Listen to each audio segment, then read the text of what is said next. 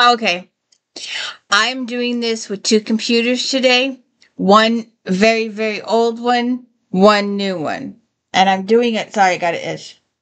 I'm doing it this way because I've had to redo the last four Star Treks four times. Four times. And I I'm very, very upset and agitated, and I've talked to Hewlett Packard. So if something goes wrong here, everybody blame Hewlett Packard because I spent three days with them on the telephone and they cannot help me. My computer says there is nothing wrong. So when you watch the other videos and the audio goes blah blah blah blah blah, it may even be blah blah blah right now. I don't know it until I play it back. So um it is what it is.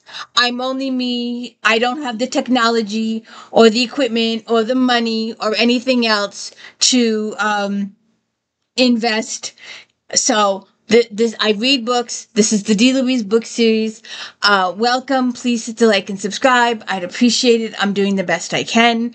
I'm Christina K R I S T I N A and K R I S T I N A over there too. Sorry. I'm trying to figure out what to, how to do these two cameras. Um, one is really old, one is new. I need you to work. I need you to work too because you're my backup. Um, so we'll see what happens. We are doing uh, J.R. Ward's Black Dagger Brotherhood. We are doing James Patterson's Alex Cross series. We are doing C.S. Harris St. Cyr series. And we are doing If Thens. Please check my If Thens on Fridays. The last couple have been jibber jabby, but the beginnings of them have been good. So please check them out. Let them run. Do mute and just let the whole video play out. Use closed caption. Please i need i need the views. I need the likes and subscribes. So we are on season disc season six disc one of star trek next generation. Uh, we did times arrow a couple of times because the, the audio went on that. Realm of fear uh, man of the people and today we are doing Relics, episode 230. And there've been audio problems on all of these. I give up. I've I've done these a few times now. Um I'm just going to have to live with it. I don't know what else to do. So, um if we get into it, this is relics. I wish that I could uh, let the video run and talk as it runs, but we all know there's those copyright issues out there. So we'll see what we can do here. Um, we uh, let's see if I can get to it. You're gonna have to be patient with me with two videos trying to do this. Thank you.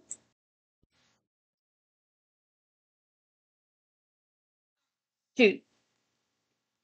For those of you who don't know, the old computer is held together by a binder clip, and the binder clip just came off. So, uh, all right. So let's get to our uh thing. Uh, they're all at the science station, and Data says, Captain, I've identified the signal. It is from the USS Jenolan, a Federation transport ship reported missing in this sector 75 years ago. Riker, Code 1, Alpha Zero, ship in distress. Picard, take us out of warp. Ensign, all stop. Aye, sir. Picard says, report. Worf says, we've entered a massive gravitational field, Captain. Let's see if I can get a good visual.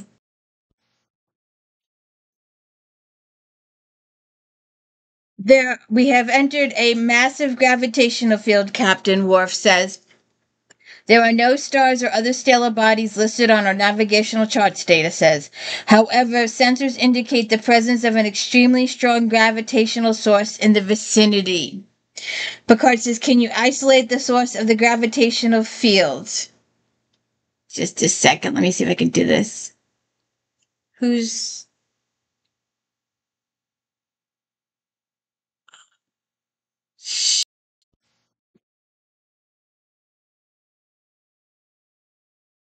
Okay, so they pull up a gray planet.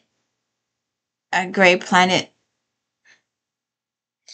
Um, uh, can you localize the source of the great gravitational field? They show the gray planet. Sensors. I'm having difficulty can't scanning the object. It appears to be approximately 200 million kilometers in distance. Riker says that's nearly as large as the Earth's orbit around the sun. Why can't? Why didn't we check this until before now?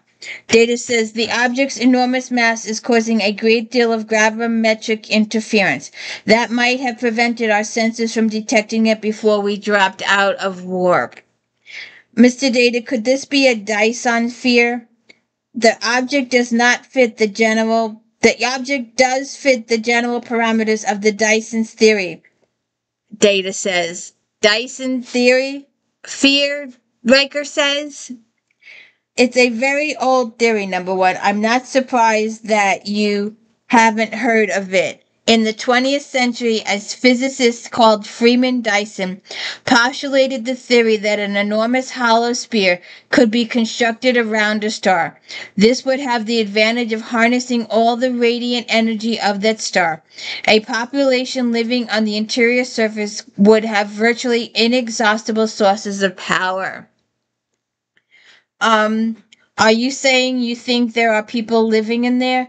Data says possibly a great number of people, Commander. The interior surface area of a field this size is the equivalent of more than 250 million Class M planets.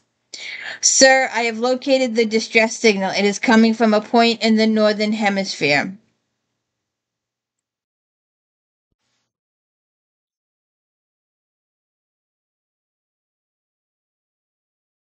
Oops.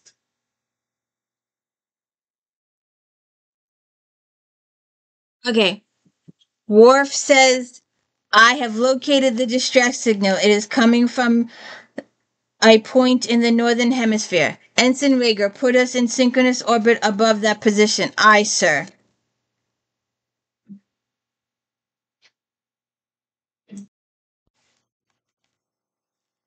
I have located the distress signal is coming from, oh, if it's right. I have located the Jenolan sir. It's impacted on the surface of the sphere. Magnify. Data says there are no life signs. However, there are several small power emanations and life support is still functioning on minimal levels. Riker says, Riker to engineering. Geordi, join us in transport room through. Mr. Worf. And they all head to the Jenolan. This is the image they show.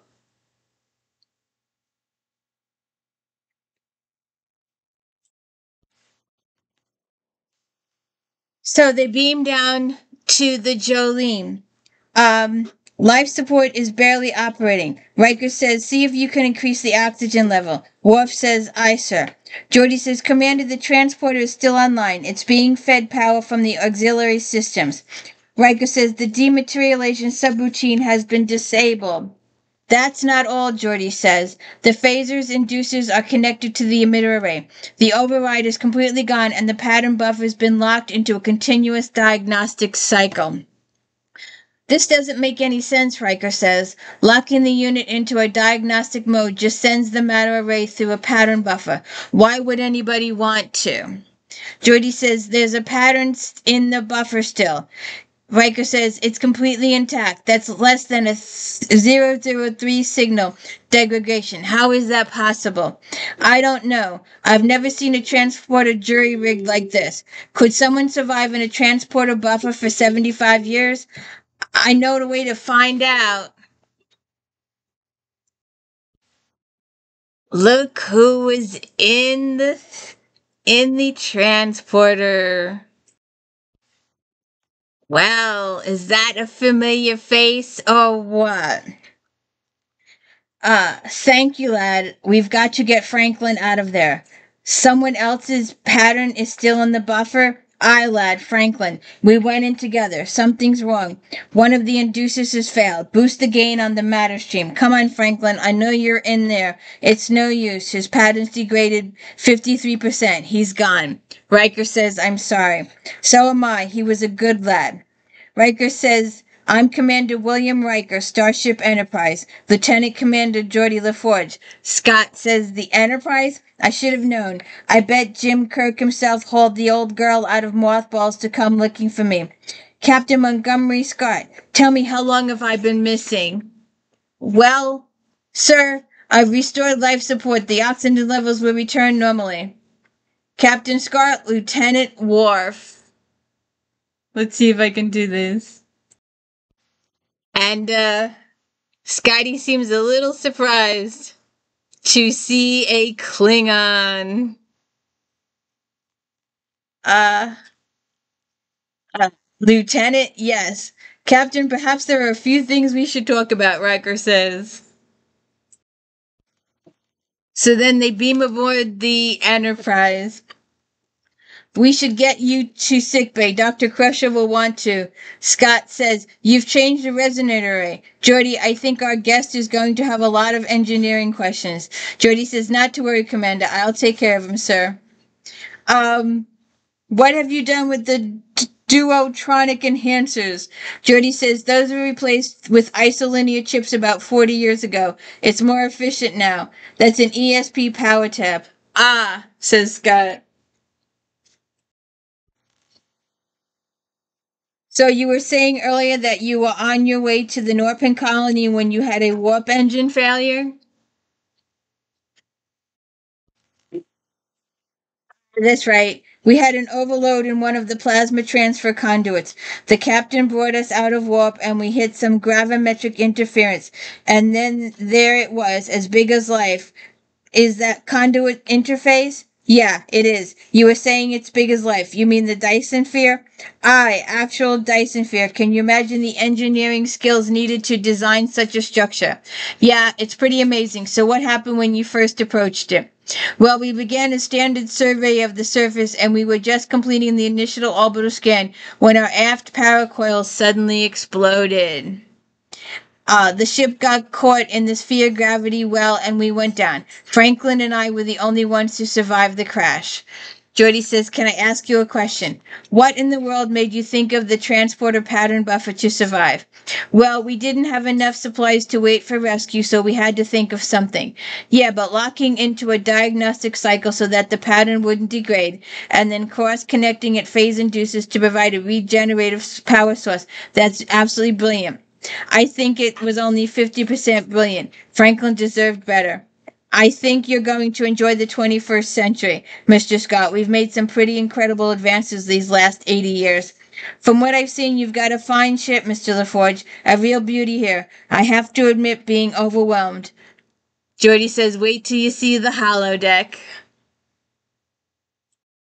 so then they have him in sick bay. You have a hairline fracture of the humerus. It will ache for a few days, but it should be fine. Thank you. Well, I'll say this about your enterprise. The doctors are a fair sight prettier.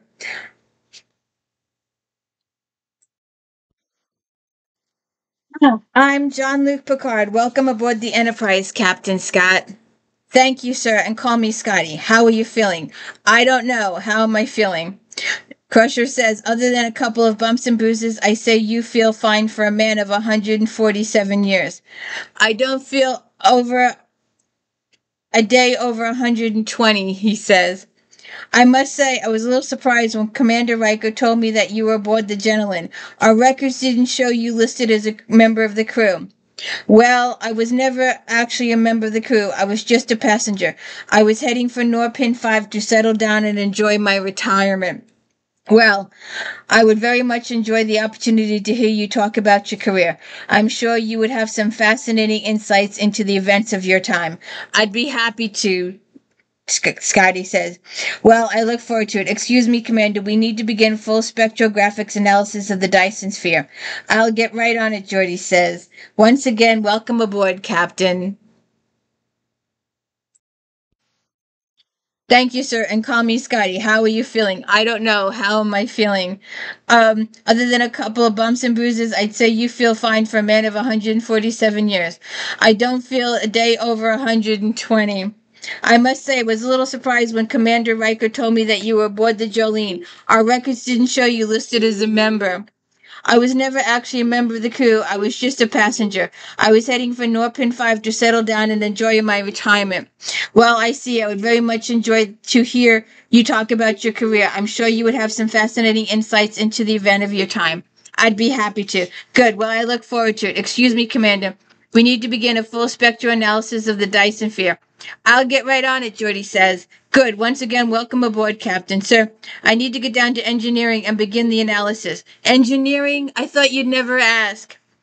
Ca- Crusher says, Captain, the first thing you need to do is get some rest. Now, this has been a shock to your system, and I want you not to push yourself. We're pretty busy, busy down there anyway, Captain Scott. I promise I'll be happy to give you a tour just as soon as the doctor says it's okay. Crusher says, I'll have someone show you to your quarters. And Scotty's kind of disappointed.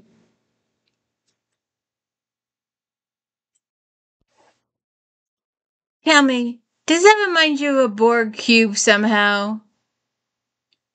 It just looks like a Borg cube to me. So the guy is showing uh Scotty around the room. Um this is the replicator and your computer terminal. Good lord, man, where have you put me? These are the standard guest quarters, sir. I can try and find you something bigger if you want. Bigger? In my day, even an admiral wouldn't have had such quarters on a starship. You know, I remember a time we had to transport the Dohlman of Elas. You never heard anyone whine and complain so much about quarters as she did. Kane says the holodecks 10 forward in the gymnasium are all on your disposal. Our computer can tell you how to find them. Until we issue a com badge, you'll use one of these panels if you need anything. You know, these quarters remind me of a hotel room or the on the Argelius. Now there's a planet, everything a man wants right at his fingertips. Of course, on the first visit I got into a wee bit of trouble. Excuse me, sir, Kane says. I have to get back to duty. Ah well, Scotty says. Thank you. Poor Scotty. I feel so bad for him. Okay, so then Geordi is in engineering. I want you to shut down the warp engines and recalibrate the aft centers while I work on the lateral A. Okay, and then she she she leaves. And then you hear somebody say, "Can I help you, sir?" Um, oh, I don't think so, Lassie, but I'll let you know if you can. Sir, this is a restricted area, authorized personnel only.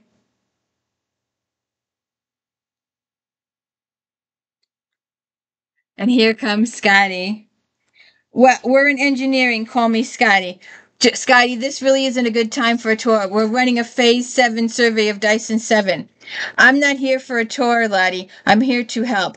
That's very kind, but I'm sure we can handle it. Scott says, I was a Starfleet engineer for 52 years, Mr. LaForge. I think I'm still useful. You're right. We'll be grateful for any help you can give us. Let's get to work. Okay, back on the bridge. Sensor readings indicate the presence of a G-type star at the center of the sphere. There also appears to be a Class M atmosphere clinging to the interior surface. Picard says, is there any indication the sphere is inhabited? Not yet, sir, Data says. Our preliminary data suggests it is still capable of supporting life. We have been unable to find definite signs of current habitation. Miss P- Picard says, Mr. Data, send out a series of Class 4 probes to survey the far side of the sphere. Perhaps we'll have more luck with them. Aye, sir, says Data.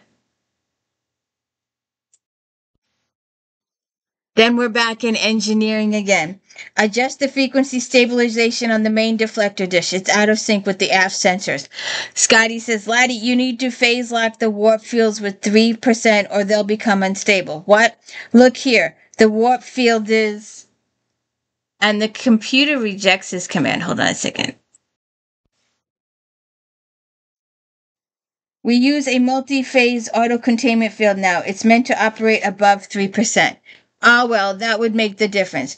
But um, another person comes in and says, We can restart the engine in 10 minutes, Commander. Thank you, Lieutenant. I remember a time when the old Enterprise was spiraling toward Psi 2000. Thank you, Geordi says. The captain wanted to try a cold start of the warp engine, Scotty said. I told him without a proper phase lock it would take at least 30 minutes.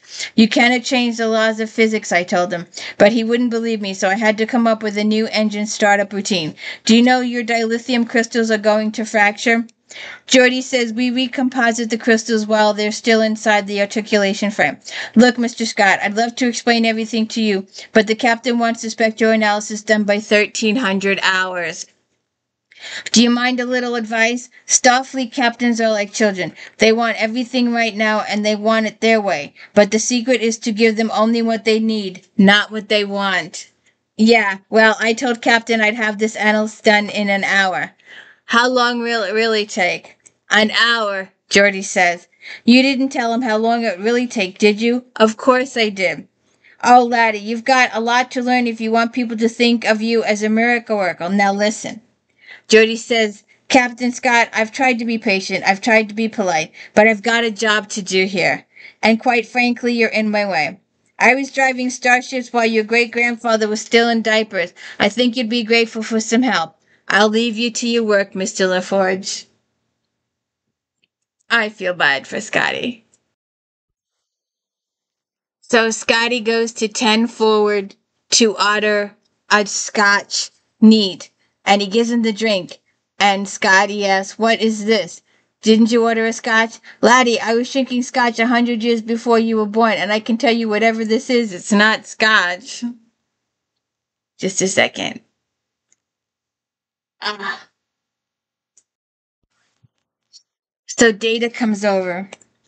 Um, I believe I may be of assistance. Captain Scott is unaware of the existence of synthahol. Synthahol. Um, yes, sir. It's an alcoholic substitute now being served aboard starships. It simulates the appearance, taste, and smell of alcohol, but the intoxicating effects can be easily dismissed. You're not quite human, are you? No, sir. I'm an android, Lieutenant da- Commander Data. Synthetic Scotch, synthetic commanders. Data, I believe Guinan has a so limited supply of non-synthetic products. Perhaps one of them might be to your liking. Data goes behind the bar and comes out with a bottle.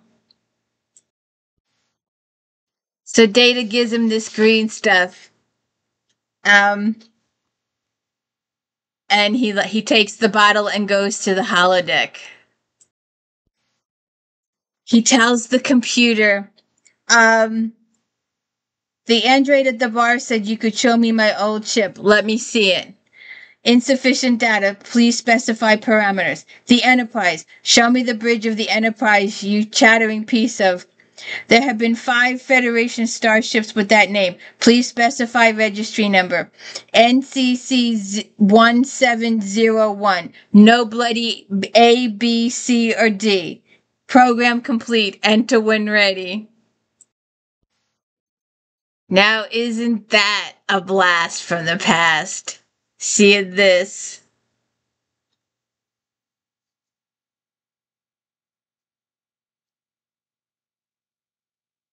His Enterprise. The original Enterprise.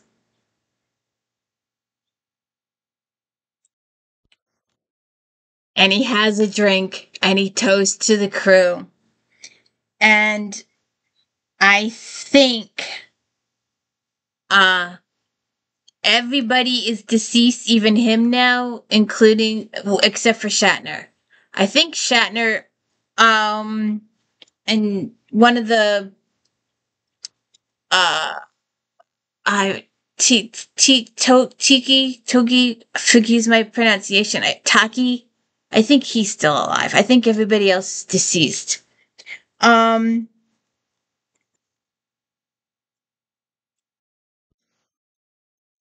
So then Picard comes in. Uh, I hope I'm not interrupting. I was just coming off duty and I wanted to see how you were doing. Not at all, not at all. Have a drink with me, Captain. Thank you. I don't know exactly what it is, but I would be real careful. It's real. And Picard drinks it in one scope. It's Aldebaran whiskey. Who do you think gave it to Guinan? Ah, Constitution class. Ah, you're familiar with them? There's one in the Federation Fleet Museum, but then, of course, this is your enterprise. Actually, I served on two. This was the first one. She was also the first ship I ever served as chief engineer. You know, I served aboard 11 ships, freight, freighters, cruisers, starships. But this is the only one I think of, the only one I miss. This first starship I ever served aboard as captain was called the Stargazer. I was overworked, underpowered vessel, always on my verge of flying apart at the seams. It's in every measurable sense my enterprise is far superior, but there are times when I would give almost anything to command the Stargazer again. Scott said it's almost like the first time you fall in love. You don't ever love a woman quite like that again. Well, to the Enterprise and the Stargazer, old girlfriends will never meet again. What do you think of the Enterprise D? She's a beauty with a good crew, but when but when I was here, I could tell you the speed that we were traveling by by the feel of the deck plates. But on your ship, I feel like I'm just in the way. 75 years is a long time. If you would care to study some technical schematics, or I'm not 18, I can't start out like a raw cadet. No, there comes a time when a man finds that he can't fall in love again. He knows that it's time to stop. I don't belong on your ship, I belong on this one. This one was my home. This is where I had purpose, but it's not real. It's just a computer generated fantasy. And I'm just an old man who's trying to hide in it. Computer, shut this bloody thing off. It's time I acted my age. Aw, I feel bad for him. You know, I really need a side view. I hate when they do these back and forth views like that. I'd like a side view of both people talking. Um, so Picard calls Geordi into the uh, radio, and please, Lord God, let this video still be working properly. Um, Mr. LaForge, I understand that before the Jenolan crashed, it had conducted an extensive survey of the Dyson sphere. Have we been able to access any of those records? We did try to download their memory core, but it was pretty heavily damaged in the crash. We actually haven't been able to get much out of it. Perhaps Captain Scott would be of use in accessing that material. It's possible. He does know those systems better than any of us. I'll have Lieutenant Bartell beam down with him. Mr. LaForge, I would like you to accompany Captain Scott. Me, sir? Yes, look, this is not an order, it's a request, and it's one which you must feel perfectly free to decline. You see, one of the most important things in a person's life is to feel useful. Now, Mr. Scott is a Starfleet officer, and I would like him to feel useful again. Yes, we would all like to feel useful, and we would all like to feel needed.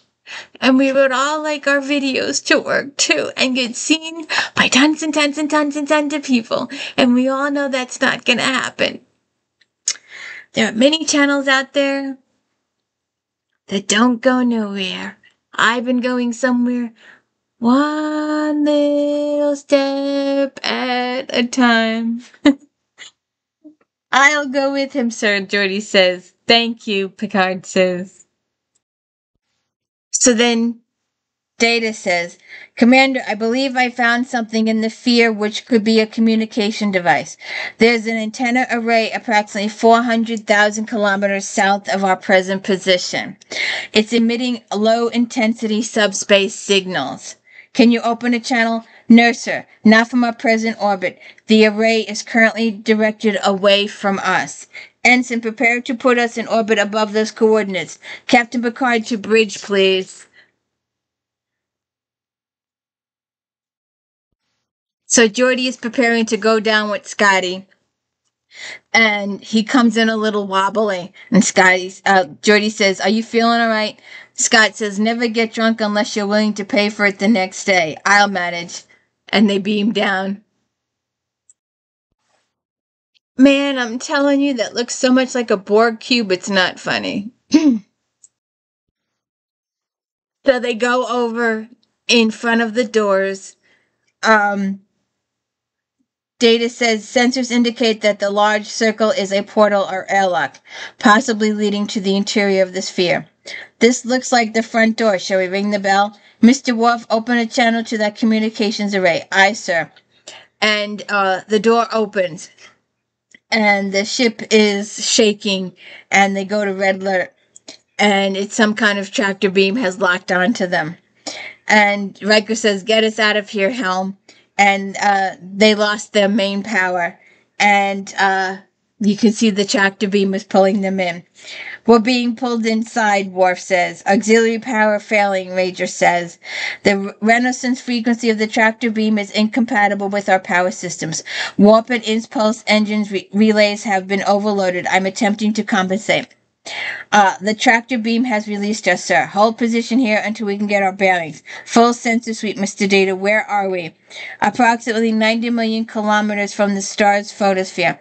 I'm meeting a great deal of surface instability. It may be. Ah, shoot.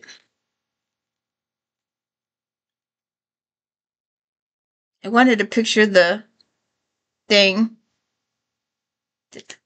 So they get juggled around and they try to get out and um, the tractor beam starts pulling them in and they go directly inside the thing.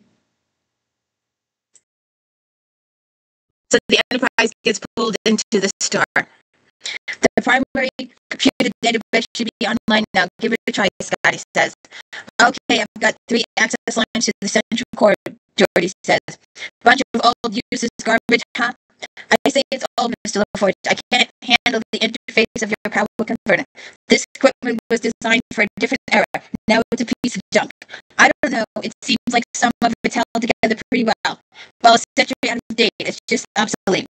Well, you know that's interesting because I was just thinking a lot about this system that hasn't changed in the last 75 years. This transporter was basically the same one we use on the Enterprise.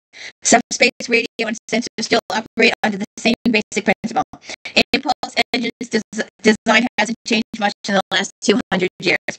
If it wasn't for all the structural damage, the ship might be still in service today. Maybe so, Scott says.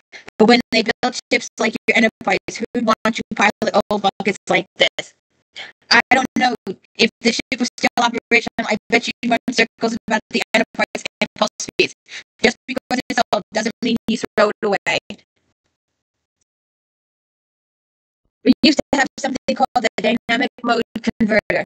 You wouldn't have something like that on your Enterprise, would you? I haven't seen anything like that in a long time, but I bet it might be able to come up with something similar. The Forge to Enterprise. The Forge to Enterprise. Come in, please. Interference? No, they're gone, Geordi says.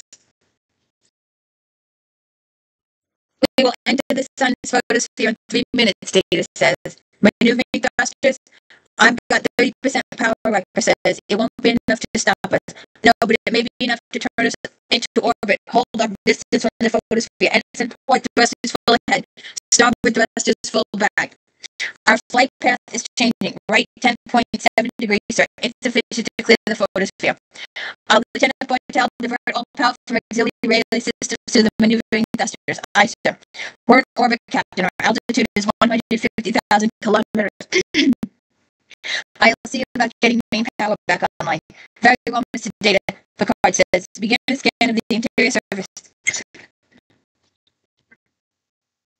for life forms. I want to know who brought us in here and why. Aye, sir.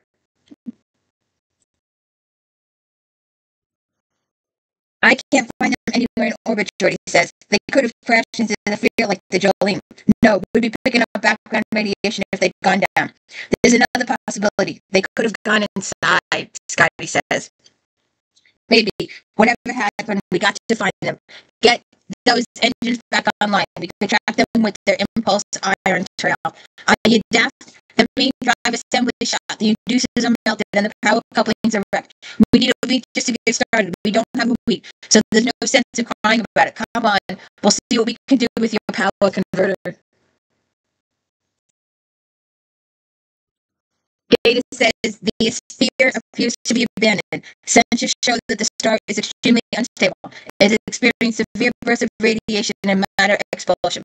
Then that would explain why they abandoned it. But if there's no one living there, how were we brought inside? I believe we triggered a series of automatic piloting beams designed to guide ships into the sphere. Worf says sensors show a large magnetic disturbance on the star's surface. Data says it's a solar flare captain, magnitude 12, class B. Shields? Shields are up, but only at 23%. That Star has entered a period of increased activity. Sensors indicate that the solar flares will continue to grow. In three hours, our shields will no longer be sufficient to protect us, data says. I hate when I can't see. I I guess they're trying to say that there's no power on the ship, but I hate that you can't see anything. Um, Scott says, the deuterium from the main cyber pump to the auxiliary tank. Geordi says the tank can't withstand that kind of pressure. Where did you get that idea? What do you mean, where did I get idea? It's in the impulse engine specifications. Regulation 42 slash 15 pressure variance IRC's tank storage. Yeah. Forget it. I wrote it. A good engineer is always a wee bit conservative. At least on paper. Just bypass the secondary cutoff valve and boost the flow. It'll work. Okay, we've done our jobs properly. The engine should be coming back online now. Hey, you're right. The auxiliary tank is holding. Take the bridge, Commander. Oh no, you're the senior officer here. I'm the captain by rank, but I never wanted to be anything else but an engineer. All right, Geordi says. So then we're back on the Enterprise again. Uh, Shield still holding, Sir Worf says, but they are down another 15%. Mr. Worf, can we use the phasers to open a hole in the sphere? No, sir. The exterior shell is composed of carbon neutronium. Our weapons would be ineffective. Mr. Data, we have to find some way out of here. Begin scanning for another hatch or portal that might open. Data says the interior surface is over 10, 10 to 16 square kilometers. It would take seven hours to complete to scan the surface. I will endeavor to speed up the process, he says.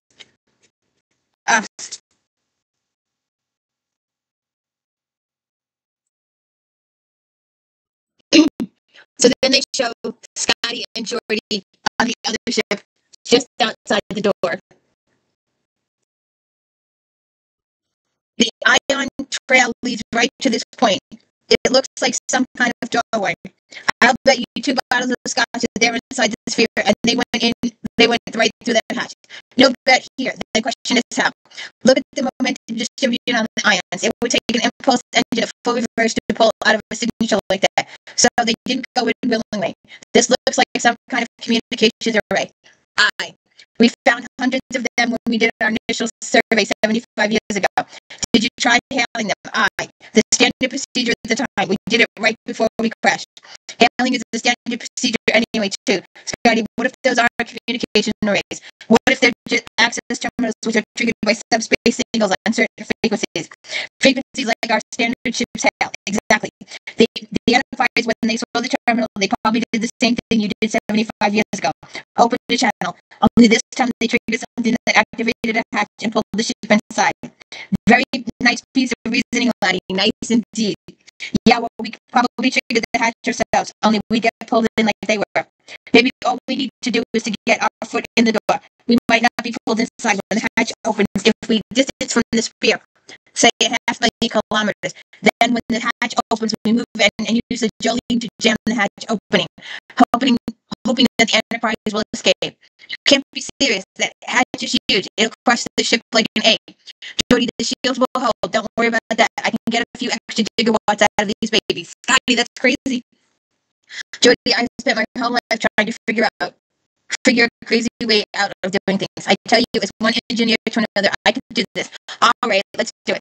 We're at 50, 500,000 kilometers. Engines are ready. Okay, here we go. And they go and do their little thing they were going to do. So they managed to get the doors open. Oh, I want to leave it. I hope this video is still working. Please let the sound still be working. Please say a prayer that the sound is still working. Please let the sound still be working. Please let this video be a success.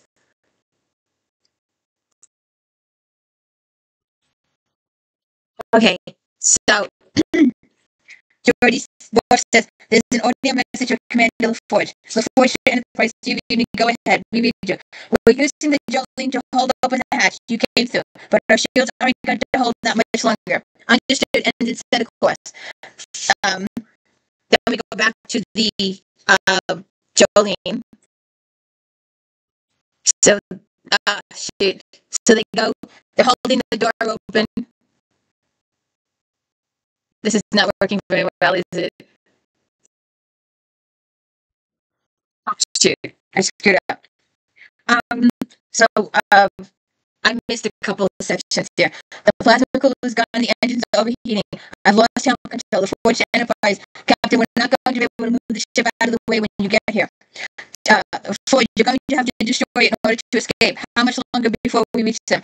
With an impulse engine at 60% power, it will take 1 minute 40 seconds. Bridge to transport room 3, prepare to beam 2 from the Jenolan as soon as we're in range. Scott says we're coming up outlet. I can't do anything. Um, and then we're back to the bridge again.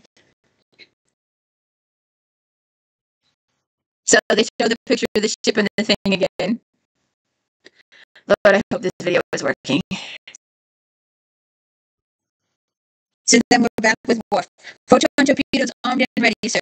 Data we are within transporter range. Bridge to transporter room energized. Aye, sir. Fire. And they blow up the Jenolan. Now, that wasn't so bad, was it?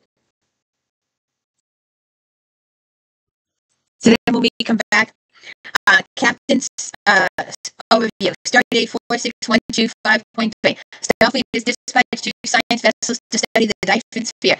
We proceed to Starbase 55. So Geordi and Scotty are talking in the hallway. So this alien space baby, which was about the size of a four-story building, really thought the Enterprise was his mother. You're pulling my leg, old man's leg. No, really, it was sucking power directly from the ship's fusion reactors. So Dr. Brahms and I charged the power frequency from 21 meters to 02 centimeters. You soured the milk, Scotty says. That's right. Enjoy these times, Geordi. Enjoy. You're the chief engineer of a starship, and it's the time of your life that never will come again. When it's gone, it's gone. Now, lad, I thought you were going to buy me a drink and 10 forward. Actually, I had a better idea. So they take Scotty into the shuttle bay. You're giving me one of your shuttles. We'll call it an extended loan. Since you lost your ship saving hours, it's only seem fair. She's not much to look at. Scott, Laddie, every woman has her own charm. You just have to know where to look. She's a little slow, but she'll certainly get you to the Norpin colony if that's where you really want to go. The Norpin colony is for old men to retire. Maybe someday I'll end up there, but not yet. Well, Mr. Scott. Thank you, sir, for everything. Mr. Scott, goodbye. Bye bye. Scotty, bye. Thank you. Uh, Crusher gives him a hug. Bye. Um, a good crew. Yeah, they are. A fine ship, a credit to a name. But I've always found that a good ship is only as good as the engineer who takes care of her. And from what I can see, the Enterprise is in good hands. You take care of yourself, Scott says I. And that ends relics. I hope this video worked. I hope the sound worked. I hope you stayed with me the whole time. We have finished disc one of season six. We did the Time's Arrow one and two. We did Realm of Fear. We did Man of the People. Today we did Relics 230. Please let this video sound have worked. Um, and please hit the like and subscribe. Don't forget to check out If Then later this afternoon. I work really hard on those. And don't forget Flashback Mondays. And of course, we are reading James Patterson's Alex Cross series, J.R. Ward's Black Dagger Brotherhood, and C.S. Harris St. Cyr's series. So please check all those out. Thank you. Have a good day.